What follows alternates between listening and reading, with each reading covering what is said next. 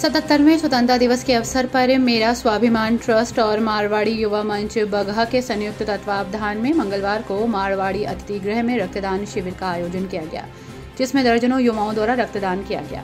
रक्तदान शिविर का शुभारंभ मेरा स्वाभिमान ट्रस्ट के अध्यक्ष दिनेश अग्रवाल ने अपना रक्त डोनेट कर किया।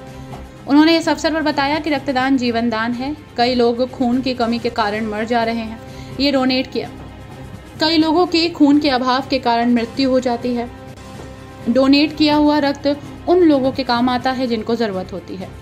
वहीं मारवाड़ी युवा मंच के अध्यक्ष गोविंद कनौड़िया ने बताया कि कार्यक्रम को सफल बनाने में मंच के सचिव अभिषेक अग्रवाल और रक्तदान शिविर के संयोजक उमेश अग्रवाल का विशेष योगदान रहा। बघा से रवीश मिश्र की रिपोर्ट। हमारी आज़ादी का एक सिंबल है कि हम लोग, आज के दिन हम लोग, हमारा देश आज़ाद हुआ। तो आज़ादी के समय बहुत लोगों ने बहुत बलिदान दिया।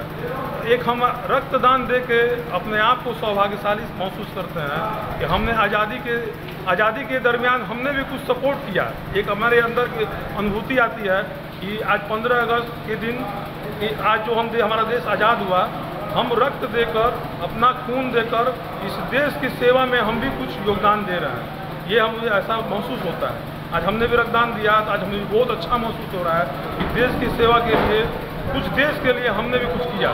बहुत ही क्षणिक काम किया लेकिन कुछ किया। लगभग कितना लोग दिया रक्तदान किया?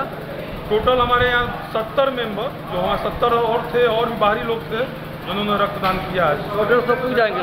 हाँ जी। सौ डेढ़ सौ पूछ जाएँगे। हाँ हो जाएँगे। लगभग सौ से ऊपर संख्या हो जाएगी। शुभ नाम आपका क्या रहा? गोविंद कानोरिया। किस जगह कार्यक्रम रखे थे? हमारा मरवाड़ी युवा मंच ये और अखिल भारतीय मरवाड़ी युवा मंच एक संगठन है जिसका शाखा बगा है। मैं, मैं हाँ ये सौभाग्य से मैं इसका अध्यक्ष हूँ। और ये हमारे छोटे भाई पीयूष बैरासिया जी इसके सचिव हैं। ये हमारे प्रांतीय कार्यकारिणी में हैं। और हमारे उमेश जी बैरासिया जी और सोहन तुलसान जी हमारे ये मंच मेंबर हैं। और सारे मंच मेंबरों का बहुत ही महत्वपूर्ण योगदान रहा। सभी मंच मेंबर मिलके इस कार्यक्रम को सफल बनाने में सुबह से जी जान से लगे हुए थे और काफ़ी सफल कार्यक्रम रहा हमारा